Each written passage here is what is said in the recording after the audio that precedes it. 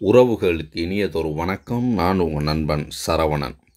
தலைமைச் செயலாளர் அவர்கள் வந்து ஒன்பது மூன்று ரெண்டாயிரத்தி இருபத்தி மூன்று அன்று வருவாய் மற்றும் பேரிடர் மேலாண்மை துறை மூலமாக ஒரு தகவல் ஒன்று அனைத்து மாவட்ட ஆட்சியர்களுக்கும் அனுப்பியிருக்காங்க. ஸோ இது எதற்கான அறிவிப்பு அப்படின்னு பார்த்தீங்கன்னா இந்த மாற்றுத்திறனாளிகள் தொடர்பான ஒரு முக்கியமான ஒரு அறிவிப்பு. ஸோ எதிர்பார்த்து காத்திருந்த ஒரு அறிவிப்பு. ஸோ அதனை பற்றி என்ன அப்படிங்கிறத வாங்க பார்ப்போம். ஸோ அதனை பார்ப்பதற்கு முன்னாடி நம் சேனலை இது வரைக்கும் சப்ஸ்கிரைப் பண்ணாதவங்க சப்ஸ்கிரைப் பண்ணி அருகில் உள்ள பெல் கிளிக் பண்ணி ஆளுங்கிற பட்டன் அழுத்திக்கோங்க. ஸோ அப்போ தான் நம்ம போடக்கூடிய பதிவுகள் உடனுக்குடனே உங்களுக்கு அப்டேட் ஆகும். சரி வாங்க பதிவுக்குள்ளே போவோம்.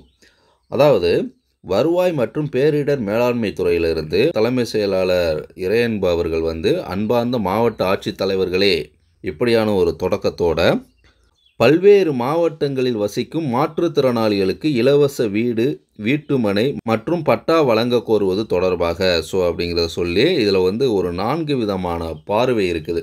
ஒவ்வொரு காலகட்டத்திலும் என்ன அப்படிங்கிறதெல்லாம். இந்த பார்வைகளின் அடிப்படையில் என்ன சொல்ல வந்திருக்காங்க அப்படின்னு பார்த்தீங்கன்னா மாண்புமிகு அமைச்சர் மற்றும் சமூக நலன் மகளிர் உரிமை அவர்கள் தலைமையில் தலைமை செயலாளர் முன்னிலையில் பல்வேறு வகையான மாற்றுத்திறனாளிகள் சங்க பிரதிநிதிகளுடன் எட்டு நான்கு ரெண்டாயிரத்தி இருபத்தி ரெண்டில் நடைபெற்ற கலந்தாலோசனை கூட்டத்தில் மாற்றுத்திறனாளிகள் நலச்சங்கங்கள் வீட்டுமனை பட்டா கோரும் மாற்றுத்திறனாளிகளின் விவரங்களை தொகுத்து வருவாய்த்துறையிடம் சமர்ப்பிக்குமாறு தலைமை செயலாளர் அறிவுறுத்தியுள்ளார். ஸோ இதுதாங்க.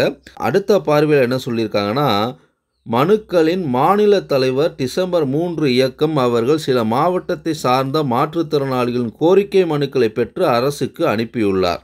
மூன்றாவது என்ன சொல்லியிருக்காங்கன்னா அரசு நேர்முக கடிதங்களில் மேற்படி பெறப்பட்ட மாற்றுத்திறனாளிகளின் மனுக்களை தகுதி மற்றும் முன்னுரிமை அடிப்படையில் ஆய்வு செய்து அரசு நடவடிக்கை எடுத்து எடுக்கப்பட்ட நடவடிக்கைகளின் விவரங்களை அரசுக்கு உடன் அனுப்பி வைக்குமாறு மாவட்ட ஆட்சியர்களிடம் கேட்டுக்கொள்ளப்பட்டது.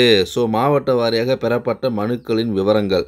ஸோ ஒவ்வொரு மாவட்டத்திலையும் எவ்வளவு மனுக்கள் பெறப்பட்டது அதாவது வரிசை என்னும் மாவட்டத்தின் பெயர் பெறப்பட்ட மனுக்களின் எண்ணிக்கை எடுக்கப்பட்ட நடவடிக்கையின் விவரம் அதாவது வழங்கப்பட்ட பட்டாக்களின் விவரம் இருந்தால் அது இல்லை நிராகரிக்கப்பட்ட பட்டா மனுக்களின் விவரம் மற்றும் அதற்கான காரணங்கள். ஒவ்வொரு மாவட்டத்திலையும் இது தொடர்பான தகவலை கேட்டிருக்காங்க. இதில் பதினேழு மாவட்டம் வந்து இந்த தகவலை கேட்டிருக்காங்க. ஸோ அந்த வீட்டுமனை பட்டா வந்து அறநூற்றி தொண்ணூற்றி ஆறு மாற்றுத்திறனாளிகளுக்கு வந்து மனுக்கள் பெறப்பட்டுள்ளது அப்படிங்கிறது இதில் சுட்டிக்காட்டப்பட்டுள்ளது.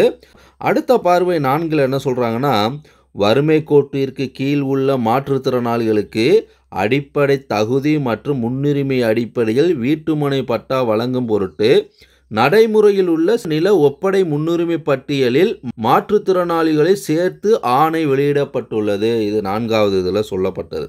அடுத்து எனவே இந்நேர்வில் பார்வை நான்கில் காணும் அரசாணையின்படி மற்றும் மாண்புமிகு அமைச்சர் சமூக நலன் மற்றும் மகளிர் உரிமை அவர்களின் தலைமையில் தலைமை செயலாளர் முன்னிலையில் மாற்றுத்திறனாளிகள் சங்க பிரதிநிதிகளுடன் எட்டு நான்கு ரெண்டாயிரத்தி இருபத்தி ரெண்டு அன்று நடைபெற்ற கலந்தாலோசனை கூட்டத்தில் அறிவுறுத்தியுள்ளவாறும் மாவட்ட வாரியாக வீட்டுமனை பட்டா கோரும் மாற்றுத்திறனாளிகளின் மனுக்களை பெற்று அதன் மீது உரிய நடவடிக்கை எடுத்து எடுக்கப்பட்ட நடவடிக்கையின் விவரத்தினை அரசுக்கு உடன் அனுப்பி வைக்குமாறு அங்களை கேட்டுக்கொள்கிறேன். ஸோ இந்த தகவலை தான் அனைத்து மாவட்ட ஆட்சித்தலைவருக்கும் வந்து தலைமை செயலாளர் அவர்கள் அனுப்பியிருக்கிறாங்க. ஸோ அதன்படி பார்த்திங்கன்னா இதுவரை வந்து வீட்டுமனை பட்டா கேட்டவர்களின் விவரங்கள் அவர்கள் என்ன நடவடிக்கை எடுக்கப்பட்டது அப்படிங்கிற தகவலை வந்து உடனே தெரிவிக்குமாறு சொல்லப்பட்டிருக்குது. இருந்தபோதும் இன்னும் சில மாற்றுத்திறனாளிகள் எப்படியாக வீட்டுமனை பட்டா வாங்குவது என்று தெரியாது அவர்களுடைய வறுமை நிலையிலே இருக்கக்கூடிய நிலையும் பார்க்கப்படுது. இதனை அரசு கூர்ந்தாய்வு செய்து மனுக்கள் கொடுத்தால் மட்டுமே வீட்டுமனை பட்டா அப்படிங்கிறது இல்லாமல் ஒவ்வொரு நகராட்சி ஊராட்சி அளவிலும் மாற்றுத்திறனாளிகளுக்கான வீட்டுமனை பட்டா உண்மை நிலையை அறிந்து அவர்களுக்கான உரிமையை பெற்றுக் கொடுக்க வேண்டும் என்ற கோரிக்கையோடு மீண்டும் ஒரு நல்லதொரு பதிவில் சந்திப்போம். நன்றி வணக்கம்.